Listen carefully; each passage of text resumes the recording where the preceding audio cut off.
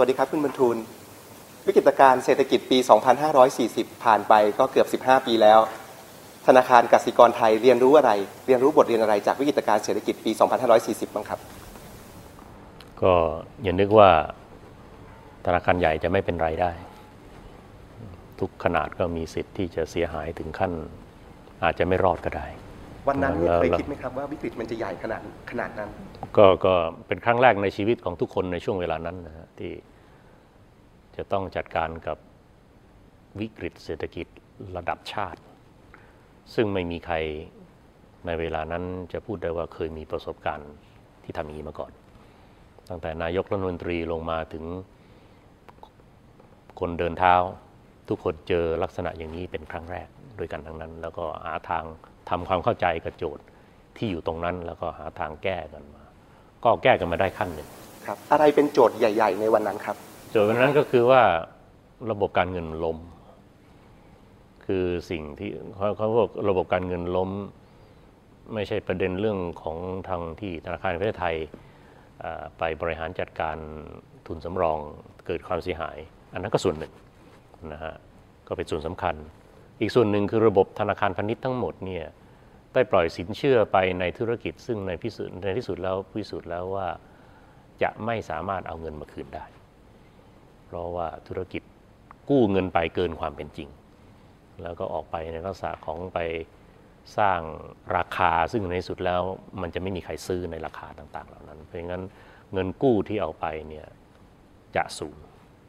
จำนวนไม่น้อย อันนี้ก็หมายความว่าทุนของระบบธนาคารพาณิชย์เนี่ยก็ถูกทำลายไปเกือบหมด ก็แบ่งเป็นสองพวกพวกที่ บาดเจ็บจนกระทั่งไม่รอด ก็คือทุนหมดสิ้นเชิง กับพวกที่บาดเจ็บสาหัส แต่ว่าในที่สุดกระสือกระสนรอดมาได้ เช่น ธนาคารกสิกรไทยแล้วก็อีกอีกหลายแห่งที่เป็นลักษณะอย่างนั้น ในระหว่างทางธุรกิจก็ล้มระเนระนาดผู้คนก็ตกงาน สินค้าแพงขึ้นเพราะว่าอัตราแลกเปลี่ยนขึ้นพรวดไปถึง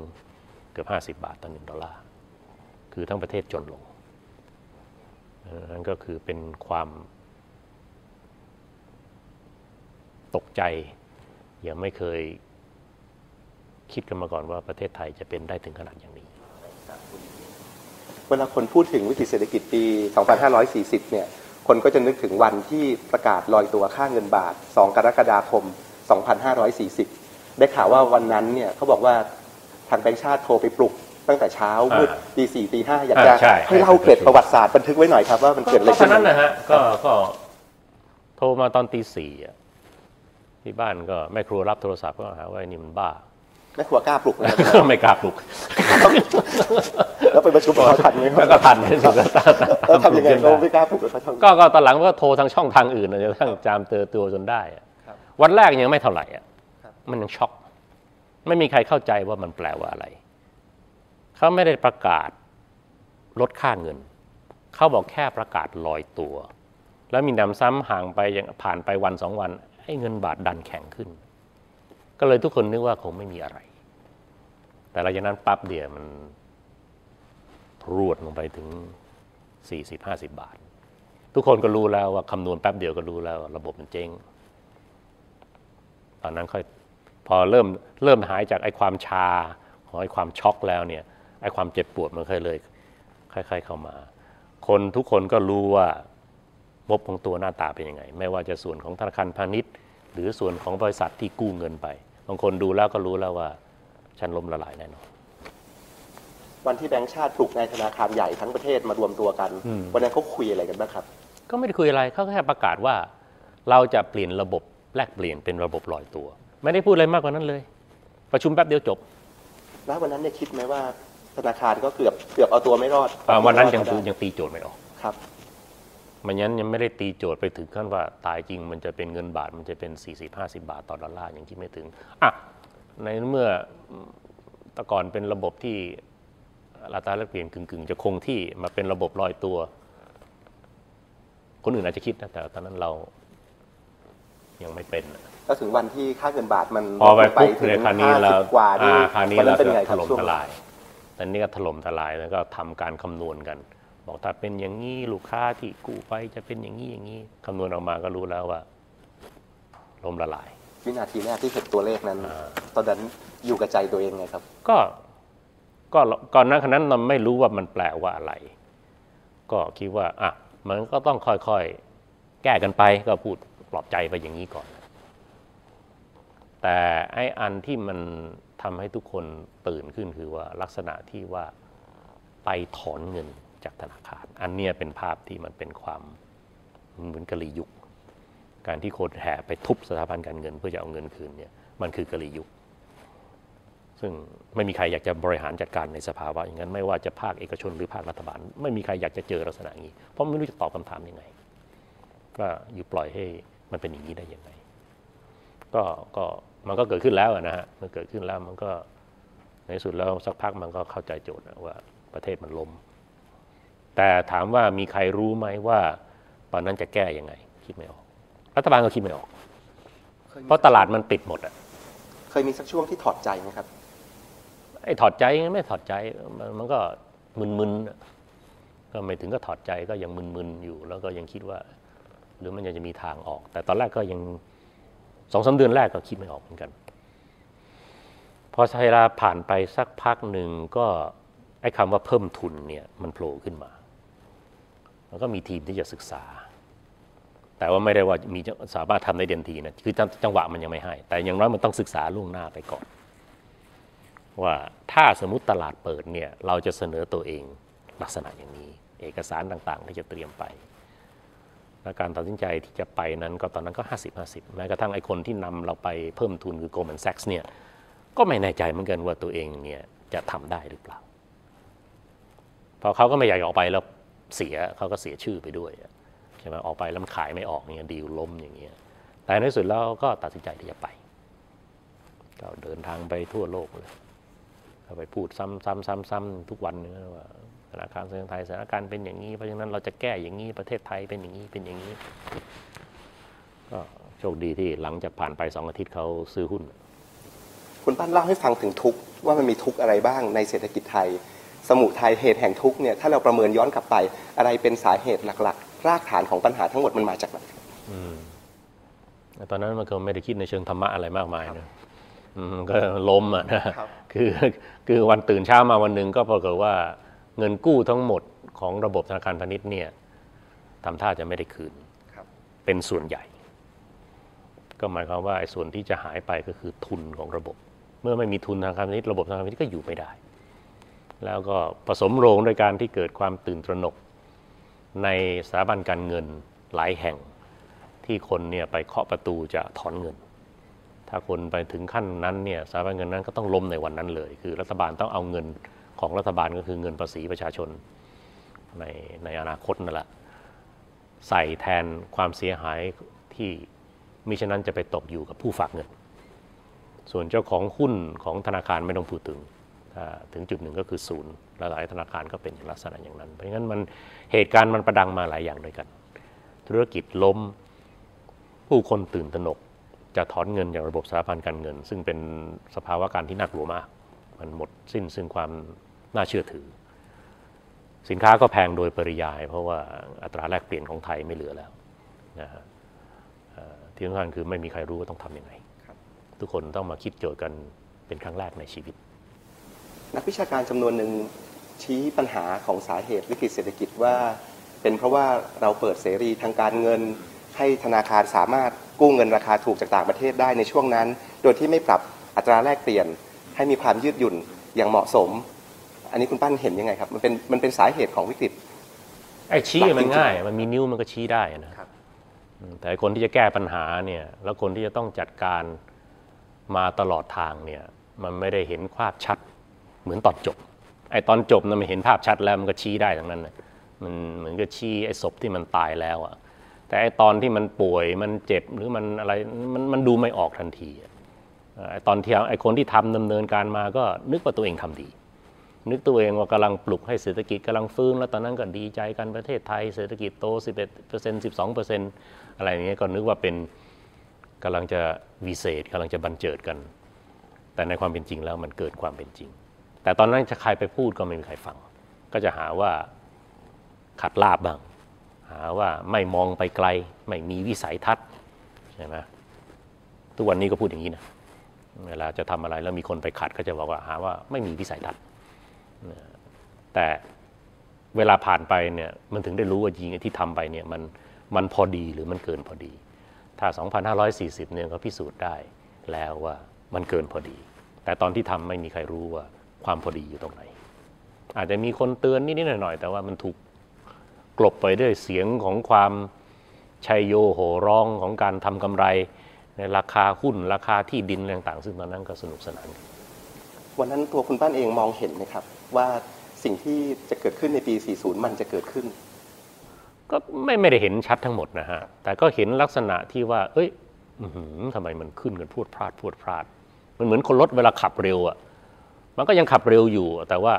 ในใจนึกว่า เอ๊ะแล้วเกิดมันอะไรสะดุดนึงมันพลิกคว่ำไหมเนี่ยอะไรทำนองเนี้ย แต่ตัวเองก็ไม่ได้มีประสบการณ์ว่า เอ๊ะวิกฤตหน้าตามันเป็นยังไง ก็เจอเป็นครั้งแรก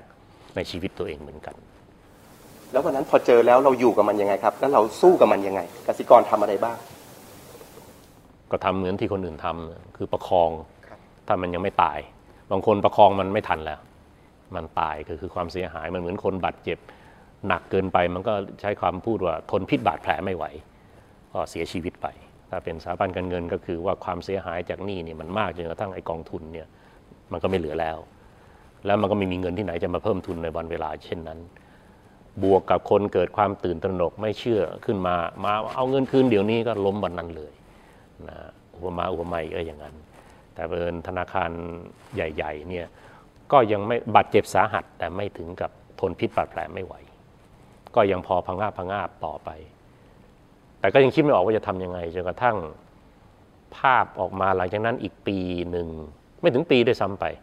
เกิดมีภาพว่าเอเชียเนี่ยจะฟื้นเร็ว ในภาพเนี้ ก็ทำให้เกิดความ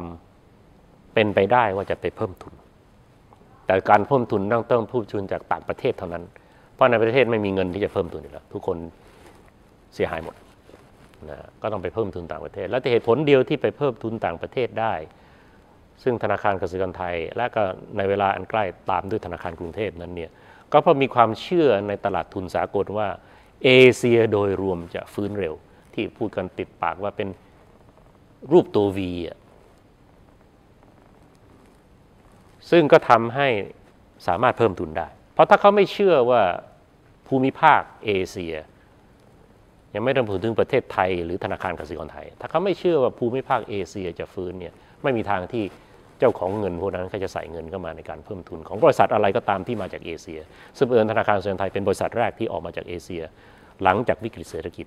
2540 ที่จะมาหาเงินทุนแบมือขอเขาทั่วโลกว่ามาเพิ่มทุนในธนาคารกสิกรไทยตอนนั้นทำไมกสิกรคิดได้ก่อนที่อื่นครับ มันก็ไม่ได้คิดไปก่อนที่อื่น ก็มันก็คิดไปหลายๆคนมันก็คิดกันไป แต่ว่ามีใครกล้าลุกไปทำหรือไม่กล้าลุกไปทำเท่านั้นนะบางคนก็อาจจะอยู่ในลักษณะที่หลอกตัวเองซะด้วยซ้ำไปว่าเอ้ยมันยังไม่ถึงกับเป็นอะไรหรอก ไม่ถึงกับลุกขึ้นไปเพิ่มทุน เพราะก่อนหน้านั้นก็ไม่เคยมีการที่จะต้องเพิ่มทุนในระบบธนาคารพาณิชย์ไทย ลักษณะใหญ่ ๆ อย่างนี้นะเพิ่มนิดเพิ่มหน่อยใช่ไหมแล้วทุกคนก็หลอกตัวเองว่าไม่เป็นไร แต่จริงๆครั้งนั้นเป็นการเพิ่มครั้งใหญ่ที่พลิกสถานการณ์ของระบบการเงินของประเทศ คือสามารถดึงเงินก้อนใหญ่เข้าประเทศได้ ในระดับทุนของธนาคารพาณิชย์ คือเข้าที่ธนาคารกสิกรไทย 830 ล้านเหรียญก็คิดเป็นเงินไทยประมาณ 32,000 ล้านบาท ก็เป็นเงินใหญ่ที่สุดที่เคยเข้ามาในในบริษัทอะไรในประเทศไทย แต่ภายในหนึ่งเดียวธนาคารธนาคารกรุงเทพก็ไป ได้มาพันกว่าล้านเหรียญเพราะว่าธนาคารเขาใหญ่กว่าแล้วทุนต้องเพิ่มมันมากกว่า ก็ปาก็ไป 40 45 45,000 ล้านเหรียญคร่าวๆดังนั้น ก็เป็นการพลิกเกมมาขั้นหนึ่งตรงที่ว่ามันยังมีเงินเข้าประเทศไทย แทนที่จะบอกว่ามันหมดสิ้นสลายแล้วไม่จริงนะแต่หลังจากเพิ่มทุนไปเนี่ยแค่ 3 เดือนเนี่ยไอ้สิ่งที่ตลาดทุนสากลเดิมคาดหวังไว้ว่าเอเชียจะฟื้นเร็วเนี่ย ก็ปรากฏว่าไม่จริงเป็นฝันสลาย แล้วมันไประเบิดที่อินโดนีเซีย พออินโดนีเซียระเบิด ทุกคนก็บอกว่าอ่าไอ้ที่วาดฝันไว้ว่าเอเชียไม่ถึงกับหนักหนาจนเกินไปเนี่ยไม่จริง แต่เงินเข้าประเทศแล้วพูดง่ายคือเขาซื้อหุ้นธนาคารกรุงเทพกับธนาคารกสิกรไทยไปแล้ว เอาคืนไม่ได้ เงินนั้นเข้ามาอยู่ในระบบการเงินไทยแล้ว แต่ถ้ารออีกสามเดือนรออินโดนีเซียล้มก่อนก็จบทั้งประเทศ ไม่ต้องเพิ่มทุนกันสักแม้แต่ธนาคารเดียวนะฮะ และที่ธนาคารกสิกรไทย และธนาคารกรุงเทพยังเป็นอยู่ในลักษณะที่เป็นอยู่ทุกวันเนี้ก็เพราะว่าเหตุการณ์อันนั้นเนี่ยเหมือนมีช่องนิดเดียวแล้วหลุดผ่านเข้าไปได้ แต่คนอื่นไม่ทันแล้วนะฮะธนาคารอื่นในประเทศไทยเนี่ยไม่สามารถเพิ่มทุนในลักษณะที่ธนาคารกรุงเทพกับธนาคารกสิกรไทยทำได้ ต้องไปหาช่องทางอื่น ต้องโดยรัฐบาลหนุนอะไรต่างๆพวกอย่างนั้นเพราะว่ามันตลาดมันปิดแล้ว ตลาดมันเปิดแค่แป๊บเดียวตอนที่มันยังมีความเชื่อหลงเหลืออยู่บ้างในตลาดทุนต่างประเทศว่า เอเชียจะฟื้นเร็วที่ใช้คำว่า V shape V shape เนี่ยไม่แต่ในสุดแล้วไม่ใช่ V อะมันเป็นตัว U ยาวเลย ยังดีนะครับ ไม่เป็นตัว L ฮะอ่าณวันนั้นวันที่ตัดสินใจไปสู้ด้วยการเพิ่มทุน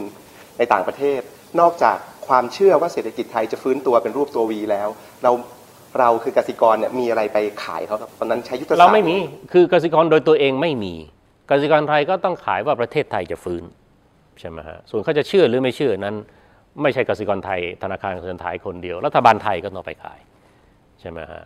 แล้วก็ผู้นำของรัฐบาลของเอในภูมิภาคเอเชียก็ต้องไปขายความคิดนี้ ไม่งั้นเงินจะไม่ไหลกลับมาในภูมิภาคนี้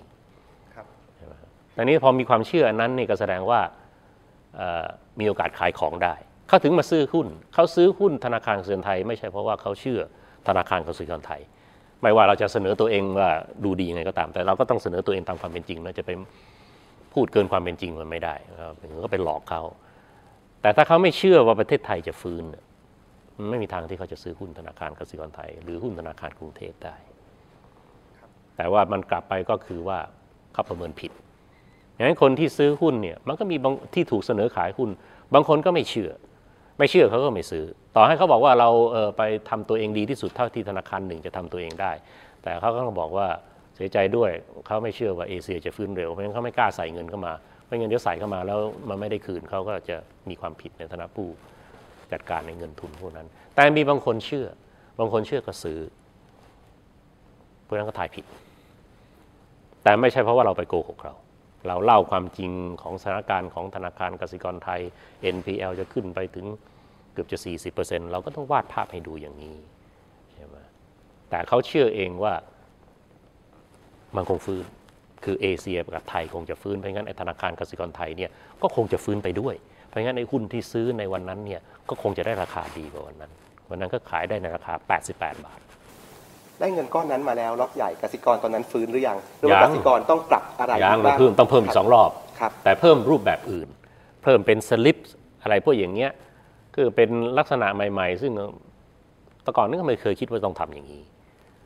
ก็เผอิญธนาคารในประเทศไทยก็มีนโยบายที่จะประคองใช่ไหมไม่ฟันให้ล้มหมดทันทีไอ้ไอ้บางอันล้มมันช่วยไม่ได้ เพราะว่าคนไปเคาะประตูจะเอาเงินเนี่ยอันนั้นไม่มีใครช่วยอะไรได้นะมันมัน เหมือนหัวใจมันวายทันที มันทนไข้มันต้องตาย ส่วนที่เหลือนี่ก็พอประคองไปไม่ถึงกับว่าจะต้องมาตัดทุนกันแบบรุนแรงอ่าแล้วอะไรเพิ่มทุนได้ เช่นไปเพิ่มแบบสลิปหรือแคปอะไรของที่ธนาคารกสิกรไทยกับธนาคารกรุงเทพทำเนี่ยอ่าโอเค ยอมให้ทำซึ่งปัจจุบันไปเพิ่มทุนอย่างเงี้ยเขาไม่ยอมให้ทำละ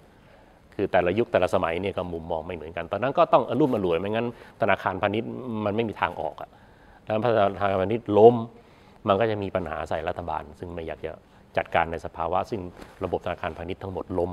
โครมลงมาเลยล้มไปครึ่งหนึ่งเขาก็จะตายอยู่แล้วเป็นล้มทั้งหมดเลยมันก็รับไม่ไหว เพราะฉะนั้นอันนี้ก็เอื้ออำนวยให้ธนาคารพาณิชย์เนี่ยที่ยังพอไม่สาหัสถึงแก่ชีวิตเนี่ยได้มีโอกาสเพิ่มทุนแล้วก็ค่อยๆไต่กลับขึ้นมาใช่ไหมแม้กระทั่งโครงการ 14 สิงหา ซึ่งรัฐบาล ค้ำประกันส่วนหนึ่งเนี่ยให้เข้าเป็นทุนชั้นหนึ่งเนี่ยที่เรียกเป็นเป็นหุ้นหุ้นชั้นหุ้น prefer stock นะฮะหุ้นที่เหนือกว่าหุ้นสามัญเนี่ย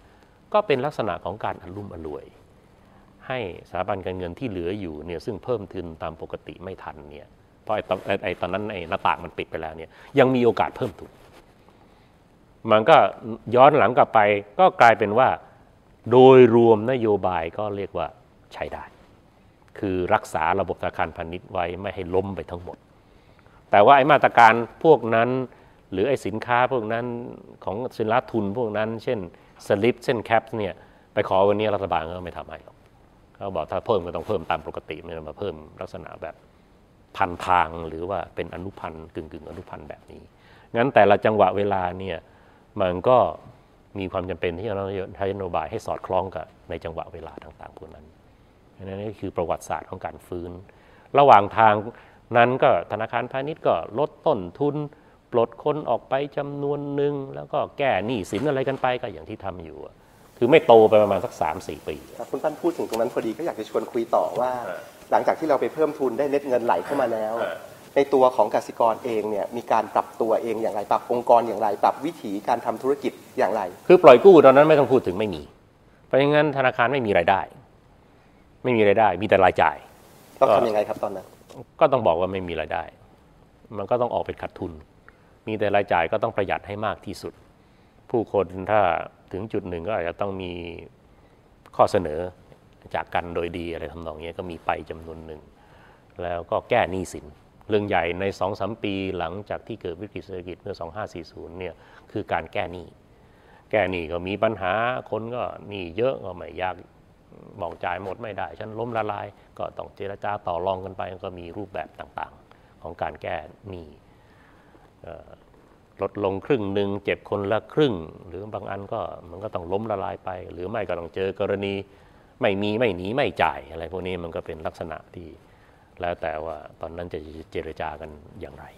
วิธีการปรับตัวและการปฏิรูปตัวเองของกสิกร ถ้าเทียบกับแบงก์อื่นๆ ในประเทศไทย มีอะไรที่เราทำแตกต่างจากเขาบ้างครับ ก็พอๆกันทุกคนรักเข็มขัดไม่จ่ายโบนัสช่วงนั้นก็มีช่วงหนึ่งที่จะต้องบอกกับพนักงานแล้วเราก็เป็นคนบอกเองนะบอกว่าไม่มีโบนัส มีเงินเดือนก็บุญนักหนาแล้ว ทุกคนก็ต้องยอมรับว่าสภาพมันเป็นอย่างนั้นเงินเดือนไม่ขึ้น ขึ้นนิดหน่อย ก็ยังดีกว่าอีกหลายคนที่เขาล่มจมไปเลย ช่วงเจ็บปวดนี่ยาวนานเท่าไหร่ครับ กี่ปีถึงก็ฟื้น2540 กว่าจะลืมตาอ้าปากก็ 3 ปี มันค่อยๆฟื้นค่อยๆฟื้นค่อยๆฟื้น ไม่ได้มีจุดพลิกชัดๆใช่ไหมฮะมันก็ไม่มีพลิกเอ่อพลิกพลิกคือเงินเงินเงินทุนที่ธนาคารกสิกรไทยกับธนาคารกรุงเทพไปเพิ่ม เพราะมันทำให้ระบบธนาคารพาณิชย์ไทยเนี่ยไม่ถูกไปเป็นของหนี้เสียของรัฐทั้งระบบ แค่ไปแค่ส่วนหนึ่งเท่านั้นเอง ซึ่งแค่นี้ก็จะยังแก้กันไม่หมดอยู่เลยของเก่า ก็ไอตัวนั้นนะคือตัวตัวพลิกตัวสำคัญเลย ส่วนที่เหลือก็ค่อยๆ เหมือนกับว่าบาดเจ็บสาหัสนี่ก็รักษาแผลก็ค่อยๆฟื้นมาทีละนิดทีละนิด แต่ถ้าตอนแรกไม่ได้ปั๊มหัวใจหรือให้เลือดไอจำนวนแรกนั้นนะตายหมดตายหมดฟังดูนี่โหดมากนะครับโหโชคดีด้วยวันนั้นอยู่ช่วงนั้นอ่าอยู่ยังไงครับฮะตัวคุณป้านเองเนี่ย ดูใจตัวเองยังไง